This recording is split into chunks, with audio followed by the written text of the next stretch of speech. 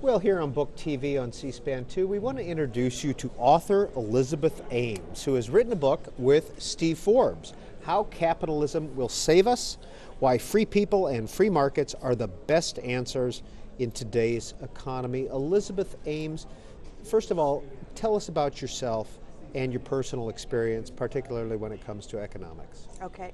Well, uh, I've been a financial journalist, uh, but I've also been on both sides uh, of the press release. Um, so I started out as a journalist and um, had my own uh, PR business and um, also done projects, other communications projects for clients, among them uh, this uh, writing, you know, co-authoring books.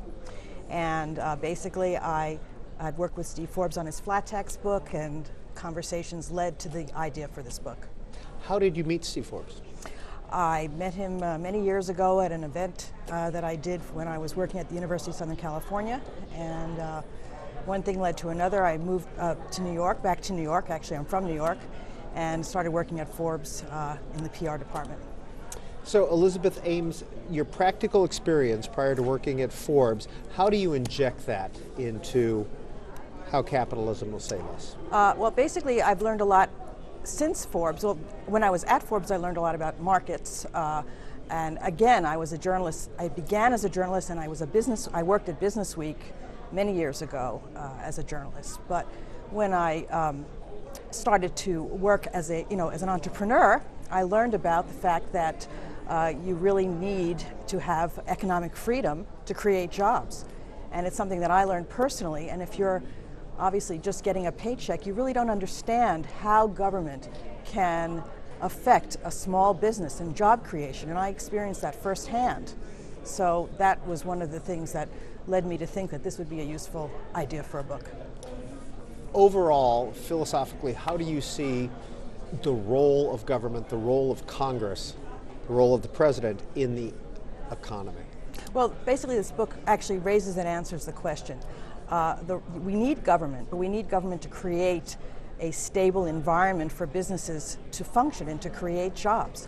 Uh, when government meddles uh, too much into the economy, uh, government and its decisions and its policies are driven by politics, and uh, markets are driven by the desire of individuals and, and, and, and com companies to meet the needs, the real world needs of people, and that's the difference between what government does and what markets do. So you need government to create to, to protect us from fraud, from bad, from, from wrongdoers. There are wrongdoers, and, and government can protect us from them. But uh, overly meddlesome government uh, will, it, it, it goes too far, and you end up suppressing enterprise and innovation and job creation. All right, the 2008 uh, financial situation and the so called bailout. Um, were, are you supportive of that government intervention? Well, we raise and answer the question in that book, uh, uh, basically. Uh, you could see that as sort of a, you know, a, an emergency intervention. If government had done it and gotten out, that would have been fine. Unfortunately, they, they stayed too long. You know, uh, I think that the comparison we make is to, you know, Katrina. There's emergency aid, and then basically people get up and they get back on their feet. What unfortunately the government has used uh, the, the financial crisis as an excuse to expand itself and expand, c- control the economy. And at what point would you say the government should have stepped out that the emergency aid ends? Well, maybe they should have. I mean, they didn't allow banks that wanted to, to pay back the money. You know, obviously they were they were making it difficult. They really made them keep it and, and tried to force it on banks that didn't want to take the bailouts in the first place. So basically, uh, you know, some people really have, have argued with the fact that we basically make this point that the bailout was necessary. Um, but, you know, basically it, it, it went, they went too far. And certainly afterwards, uh, they, the, they used the financial crisis as an excuse to overregulate uh, with Dodd-Frank, et cetera. Well, we're interviewing you here at FreedomFest in right. Las Vegas. Do you find a lot of um, opposition to that idea, to some of the ideas in this book? No, I think that people are very. I, no, I think people are very much. That's what this. That's what this event is about. It is about free people and free markets, and under, they, people understand what's in this book, and that's what the, the whole idea that you're, you're, you best serve the needs of people by free enterprise. Uh, what is free enterprise? It's, it's people trying to meet needs, their own needs and the needs of others. And that's what it's about, and that's what these people understand. They understand entre- entrepreneurial business. Uh, they understand the fact that you create jobs not through government but through innovation. You know, innovation has created the most jobs. Think about it. Has gov- did government invent the automobile? No. Elizabeth Ames, uh, what's it like to write a book with Steve Forbes? Uh, it was a great learning experience, uh, and I, I, must say it was almost like a going. It was in a way, it was sort of like a, like a higher education. so, is there customized you know, better? Some of the one of the themes that we've been talking with authors here at Freedom mm-hmm. Fest about is the moralism or the amoralism of capitalism. Is there a moral component in your view to capitalism? Yes, there is, and that's going to be the subject of the next book that's coming out uh, at the end of the month, at the end of August, I should say.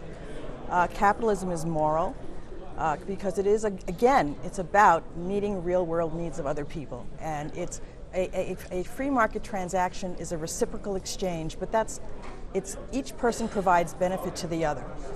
Uh, uh, George Gilder, who I saw you interviewing, uh, talks about it as giving. Each side gives to the other. He's really great on, in Wealth and Poverty talking about that. Um, so capitalism, basically, people who who are who believe in big government, they see a free market transaction as a one-sided transaction that there's exploitation, quote unquote. But it's not about that. Each side gets benefit. It may not be ideal you know, it's, it's, it, but there's benefit always in a transaction. Otherwise, it would not occur because it's in a free market. If you're, if no one's forcing you to enter into this exchange, and that's what makes it. That's why there's benefit to both sides. If you are being forced, the, the unilateral, you know, transaction is, is one that takes place between the individual and government. That's where it's unilateral. What's your enthusiasm level for Mitt Romney as a candidate? Well, I think that I think he, uh, I think he's going to be a, a, very good president. I think he'll. I think he, he gets it, uh, and I think he's moving forward, and I think he's saying the things that we need to hear. You mentioned a new book coming out. What was the title of that? Uh, the new book coming out is Freedom Manifesto: uh, Why Free Markets Are Moral and Big Government Isn't and that's another book co-written by you and Steve Forbes. Uh, yes, it is. Uh, and uh, we've got it over uh, here, and we'll get well, it over. It's, it, it's a little card. I can, if I can just. All right. All right. You've got your bag over there. I got it. We want to show you the current book while Elizabeth Ames features fishes that fishes. out. Fishes. Here we go. How capitalism will save us. And this and is coming. here is the new book by Elizabeth Ames and Steve Forbes, Freedom Manifesto, and the subhead is the subtitle is Why Free Markets Are Moral and Big Government Isn't. And why isn't big government moral? Because big government makes decisions uh, and takes action based on uh, political agendas, based on its selfish political interests. It, it really is about meeting its own political selfish needs. And free markets are meeting the real world needs of people. Well, as somebody who follows economics and uh, former financial journalist and somebody who has opinions on this issue, um, Bernie Madoff, Jamie Dimon, in your view, were those two treated fairly by the federal government? Bernie Madoff was treated fairly by the federal government. I wouldn't even put them in the same breath, actually. I think Bernie Madoff got what he needed to get. He was the, uh, I, I think of him as the serial killer of capitalism. And you don't, you don't condemn a whole society because of a, a criminal element, uh, you know, in street crime. You don't say we shouldn't have it, everybody should be in jail because you've got criminals. And there's bad people in all systems. But the, uh, a capitalist system, a free market system, is going to channel people's self interest into the most constructive activities that benefit everyone. And Jamie Dimon being called before Congress because his company lost money. Well, there's risk. There's risk in markets. I think he did a very good job in those hearings, uh, pushing back and, and explaining. And there's I, I think what's really scary right now is that uh, people who don't really understand markets or don't, who don't like markets are demonizing risk.